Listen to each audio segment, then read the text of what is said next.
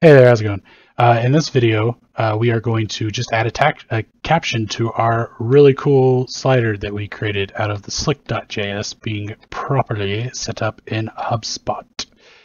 Right? Uh, so if you didn't get that video, it's way back there somewhere. You could probably find it. Um, but essentially what we did was we uh, we went to Ken Wheeler's uh, slick.js uh, GitHub page and we downloaded the package for slick.js and then we looked through some of the Slick.js features that are available. Fancy, hey. Um, now we've we've got uh, we've got this slider here that is I just realized is actually just is missing.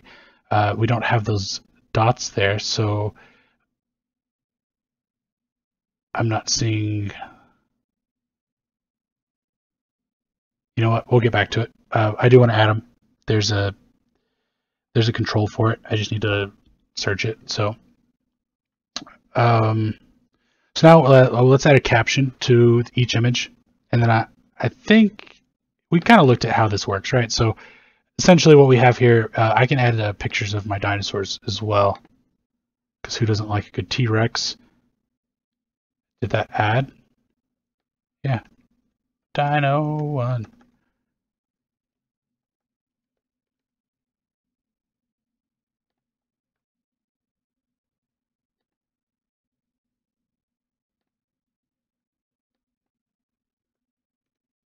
As you can see, it's very easy to add items to this.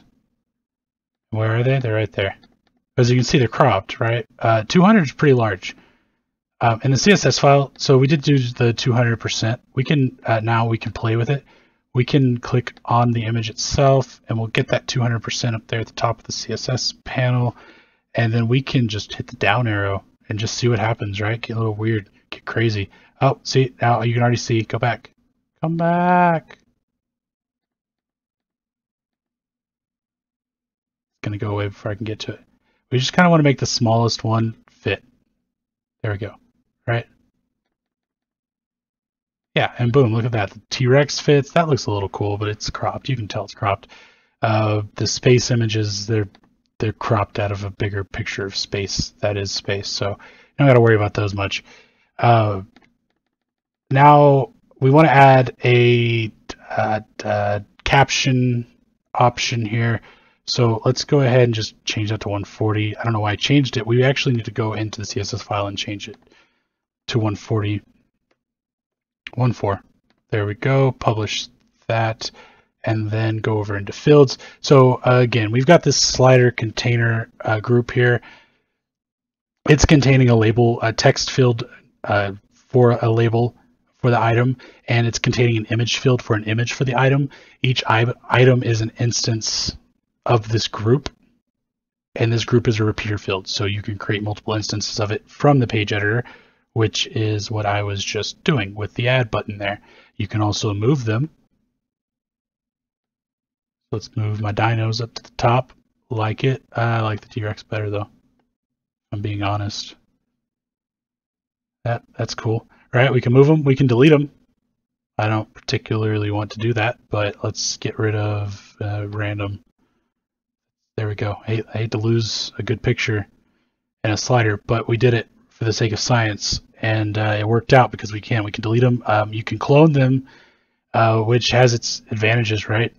Um, especially with content. I don't know exactly why you'd want to repeat certain content, but maybe it's a CTA button that you want repeated and you just clone it. That way you don't have to keep adding it. That's cool. Uh, and then you can edit it, which in this case gives you the alt text, which is good for SEO. It gives you the ability to choose the image, and then it gives you a label. Uh, we are going to go over here. We're going to go to action. Nope. Yep. Add field on the group. And, you know, whew, I really don't like using rich text editors, to be honest.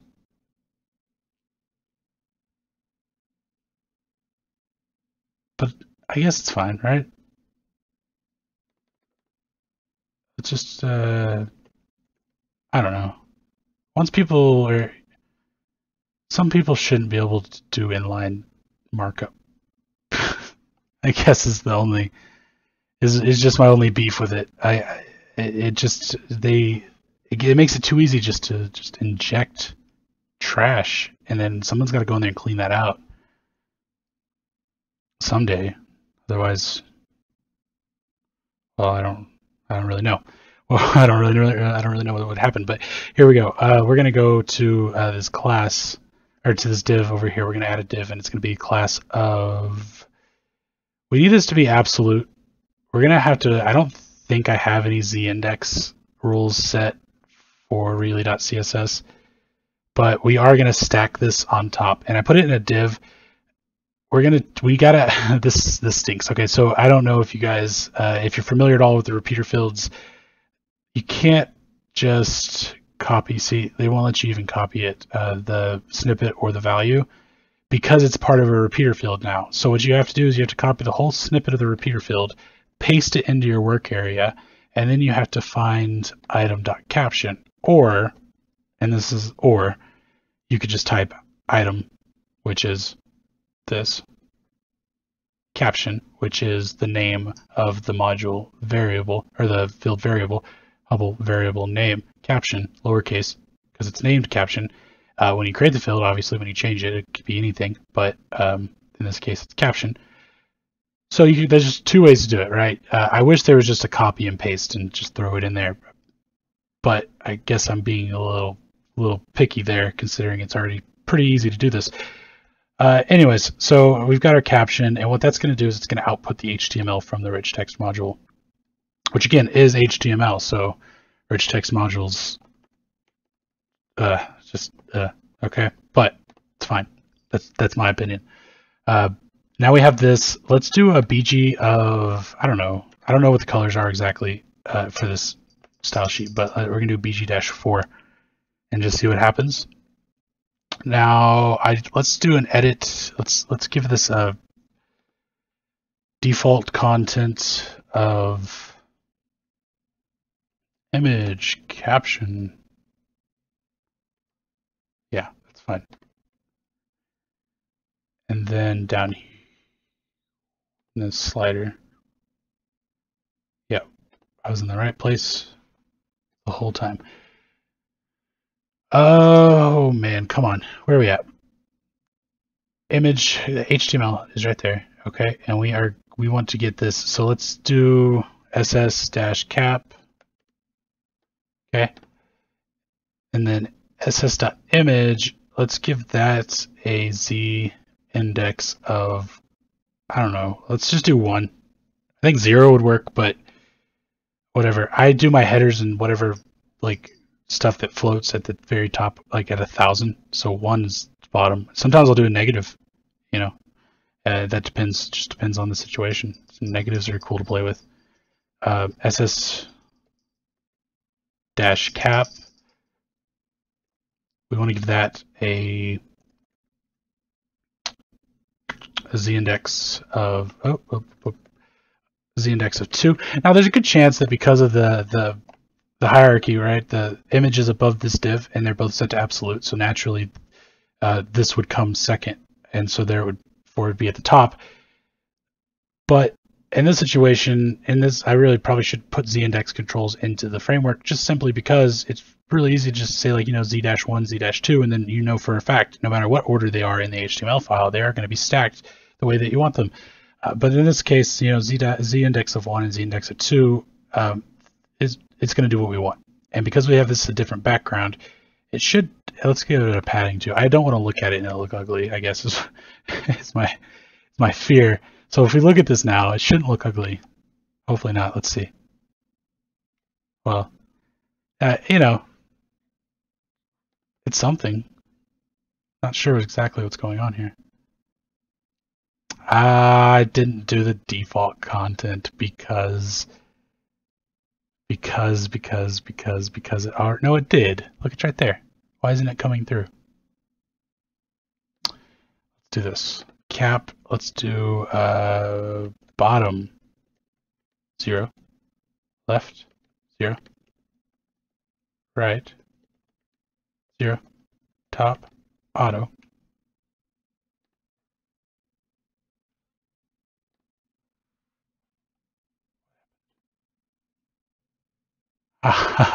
yeah, that's it. Okay, so as you can see, where did that go? Ooh, I don't like it when it does that. Okay. Again, HubSpot. I put in default content, but because I'm working in an area already and it saved a bunch of cookies or whatever about my session that I'm doing testing, it decided out that I don't have content in these fields even though I put default content. So it overwrote them. So what do I do now? Do I uh, I guess I need to, is there a save button or does it do it automatically? So what if I do caption one? And I go back. Where's the green? Yeah, see? See? Do you see this? So now if I want to see how they all look, I have to go through and I have to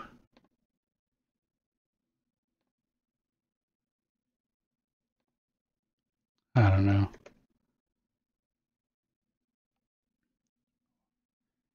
just rough. It's just rough out here.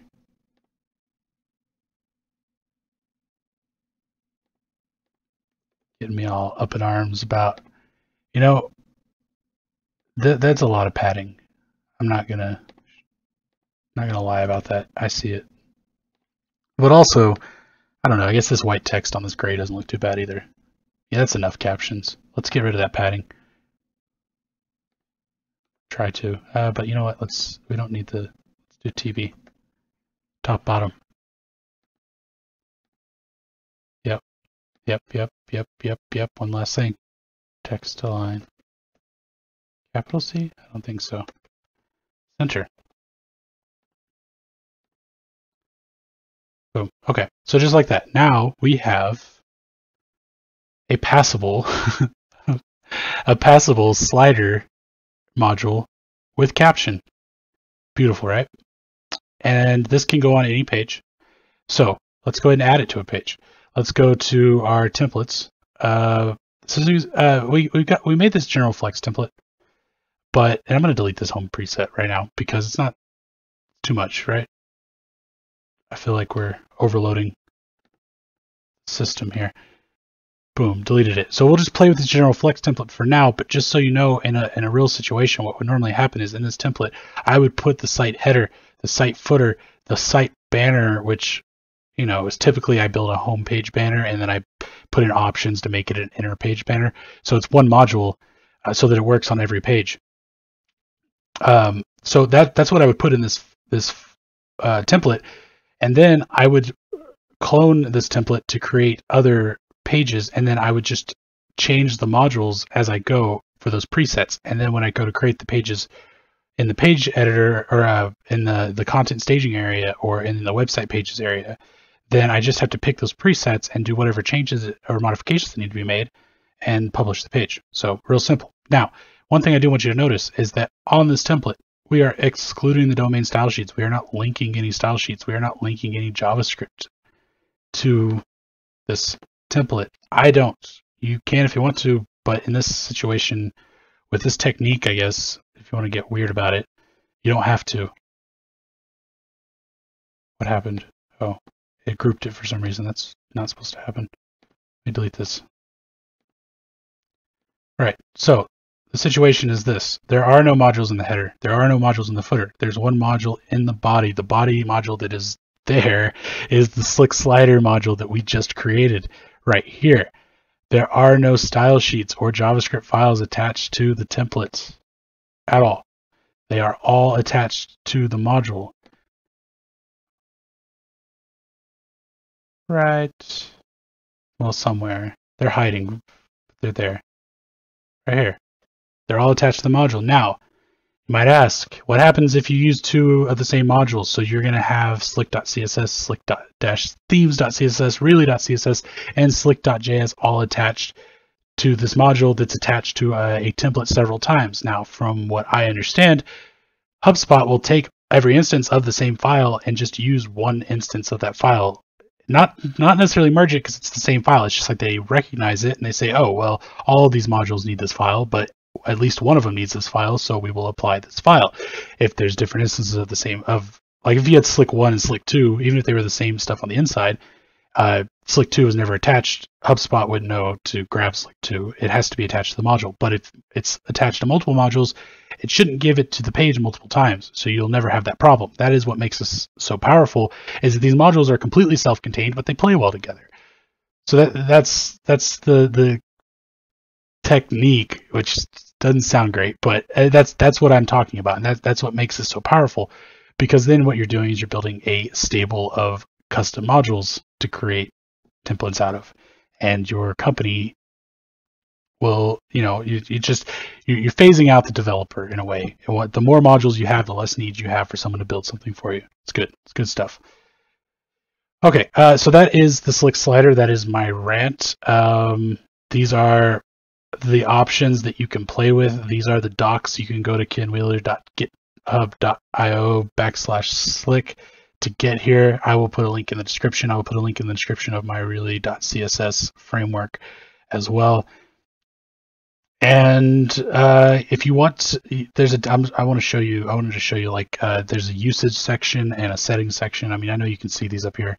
Uh, WordPress. I clicked on that, but we're not doing WordPress. Um, you can,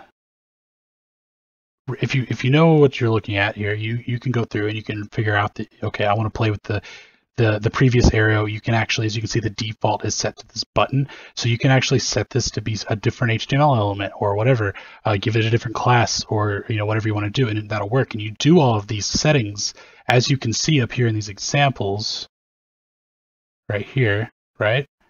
You do all those in the module right there. You just put the, plug those in. You wanted to have a responsive setup, you can you can do that. You can do that all right there. And because it has all the slick stuff attached to the module, it'll work no matter where you look at it. Where you look at it in a preview, whether you look at it in sorry, this preview. So this is a preview for the actual template containing this again, with nothing attached to the actual template. Same thing, right? Looks a little better because you don't have that sidebar on the side. Default content, obviously.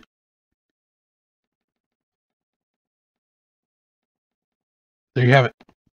Um, yeah, I mean, really, I don't know. I don't think there's much else I can show you that would be of interest with uh, the slick.js slider. But you know what? If uh, if I think of anything, I'll, I'll, I'll just expand on this. But for now, that's uh, that's it. If you have any questions, let me know. Thanks.